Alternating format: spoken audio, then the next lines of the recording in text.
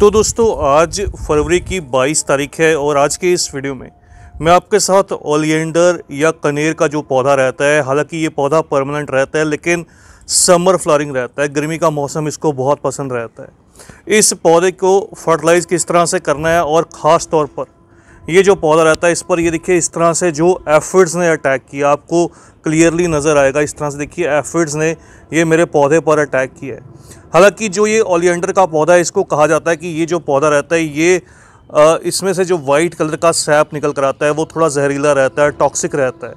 और इंसानों के लिए क्या, ये पेट्स के लिए भी जो है, वो हार्मफुल रहता है।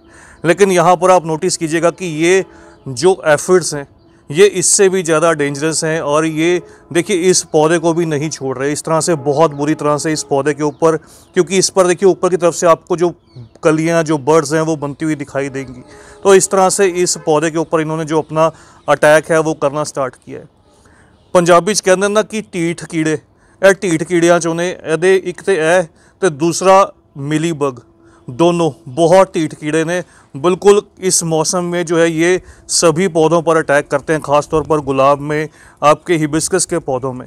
तो इनको ट्रीट करना बहुत ज़्यादा इम्पोर्टेंट रहता है। सबसे पहले अगर बात करूँ प्लांट की तो ये जो मेरा प्लांट है, ये पिछले दो तीन साल से है मेरे पास। इस पौधे को मैंने हार्ड प्रून किया था कुछ समय पहले और इसकी रूट प्रूनिंग भी की गई थी।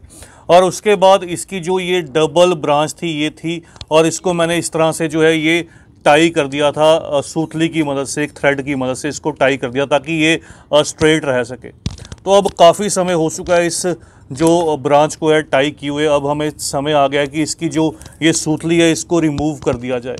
तो यहाँ पर देखिए, मैंने इसकी जो सूतली है, इसको रिमूव कर दिया है कट कर दिया अब मैं ऊपर की साइड से भी इसकी जो सूतली है, वो कट कर दूँगा। थ्रेड को कट करने के बाद इस तरह से देखिए, हमारा जो प्लांट है अभी कुछ इस तरह से दिखाई देता है। ऊपर की साइड से ये बुशी प्लांट है, कोई बहुत ज़्यादा इस पौधे की हाइट नहीं है, केवल दो ढाई फीट का ये पौधा है। और इसको मैंने इस तरह से दस इंच के गमले में ग्रो किया हुआ है। इन पौधों को आप दो साल में एक बार रिपोर्ट कीजिए तो वो सफिशेंट रहता है। सबसे पहले खाद को ऐड किया जाएगा, उसके बाद जो ट्रीटमेंट है आपके साथ शेयर करूँगा। किस तरह से ये जो एफिड्स ने अटैक किया है, इन इसकी जो ट्रीटमेंट है, वो की जानी चाहिए। तो फर्टिलाइज़र को फ़ीड करने के लिए, क्योंकि इसका अभी ग्रोइंग सीज़न है फ्लारिंग सीज़न है, सबसे पहले जो मैं चीज़ ऐड करने वाला हूँ। इस तरह से ये देखिए, ये वर्मी कंपोस्ट है, केचुआ खाद जो रहती है। केचुआ खाद की दो बड़ी मुट्ठी। तो इस तरह से केचुआ खाद को इस गमले के अंदर ऐड कीजिए। और अच्छे से जो मिट्टी की गुड़ाई है, वो करना बहुत इंपॉर्टेंट रहता है। तो ये देखिए, इस तरह से दो मुट्ठी, लगभग 50 से 70 ग्राम जो ये दो बड़ी मुट्ठी, जो केचुआ खाद है, उसको हम इसके अंदर ऐड करेंगे, ताकि पौधे को सभी तरह के जो न्यूट्रिएंट्स हैं और स्लो रिलीज़ जो न्यूट्रिएंट्स हैं, वो मिलते रहें। उसके बाद दूसरी जो चीज़ यहाँ पर मैं ऐड करूँगा, ये सीविड ग्रैनुअल्स हैं। सीविड ग्रैनुअल्स का जो वर्क रहता है, ये माइक्रो न्यूट्रेंट के रिच सोर्स रहते हैं। और पौधे को सभी तरह के जो न्यूट्रेंट्स हैं, वो धीरे धीरे प्रोवाइड करते हैं, ये पौधे को एक बैलेंस्ड ग्रोथ देते हैं।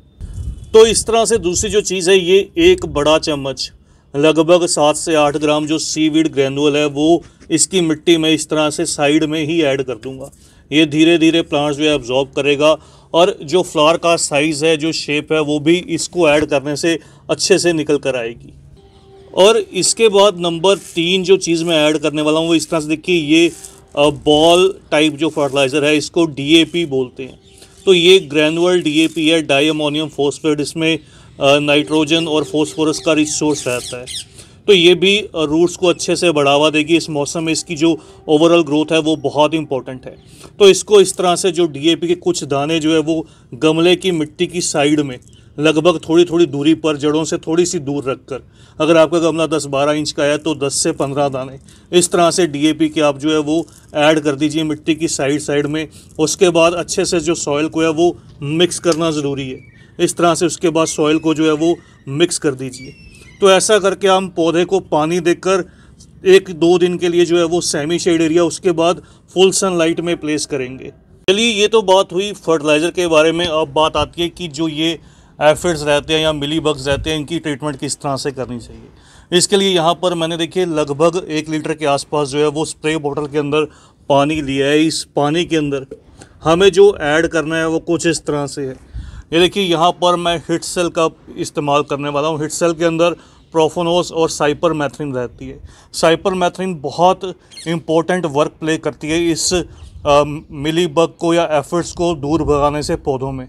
तो ये केमिकल रहता है, अगर आप केमिकल का इस्तेमाल नहीं करना चाहते तो इसकी जगह पर आप नीम ऑयल का भी इस्तेमाल कर सकते हैं, लेकिन वो थोड़ा सा स्लो प्रोसेस रहता है। तो इसका लगभग एक एम इस तरह से कुछ जो ड्रॉप्स हैं, वो इस पानी के अंदर जो है, वो मैं ऐड कर दूँगा इस तरह से। लगभग आठ से दस ड्रॉप तो ये देखिए, इस तरह से मैंने आठ से दस जो ड्रॉप हैं, वो ऐड कर दिए अगर आप इस तरह से नीम ऑयल का इस्तेमाल करना चाहते हैं तो नीम ऑयल का भी इस्तेमाल कर सकते हैं। इसी के साथ में यहाँ पर मैं थोड़ा सा जो फंगीसाइड पाउडर है, इसको भी इसके अंदर ऐड करने वाला हूँ। फंगीसाइड का मेनली जो रोल रहता है वो फंगस को किल करना। लेकिन ये प्लांट्स को ओवरऑल इसकी जो लीव्स येलो होंगी इस रीज़न से ताकि इन पर जो एफिड्स ने अटैक किया है तो वो उस चीज़ को कंट्रोल भी करेगा। आप चाहें तो इस फंगीसाइड को स्किप स्किप भी कर सकते हैं। इसका कोई बहुत ज़्यादा ज़रूरत नहीं है यहाँ पर। तो मैं थोड़ा सा लगभग एक ग्राम जो फंगीसाइड है, इसी के अंदर जो है वो ऐड कर दूँगा। अच्छे से इन तीनों चीज़ों को मिक्स करने के बाद आपने सभी जगह पर, जहाँ पर भी आपको एफर्ट्स दिखाई देते हैं, इस तरह से अच्छे से जो स्प्रे है वो शॉवर बोतल से कर देना है। ऐसा करने पर आप नोटिस कीजिएगा, तीन से चार दिन में ही सभी प्लांट से जो है वो एफिड्स या मिली बग्स जो हैं वो भागने लगेंगे और पौधा आपका जो है वो हेल्दी सा दिखाई देगा। तो ये काम इस मौसम में हर तीन से पाँच दिन में कीजिए। आपका जो प्लांट है वो बिल्कुल हेल्दी रहेगा और जैसे जैसे प्लांट्स के ऊपर जो बर्ड्स हैं उनकी फॉर्मेशन सही से होने लगे वैसे वैसे आप इस पौधे को पोटेशियम रिच जो फर्टिलाइज़र रहता है वो फ़ीड कीजिएगा। तो बस दोस्तों आज की इस कनेर की वीडियो में इतना ही। जल्द ही मिलते हैं आ, कुछ एक और नई वीडियो के साथ कुछ एक और नए टॉपिक के साथ। तब तक के लिए bye happy gardening take care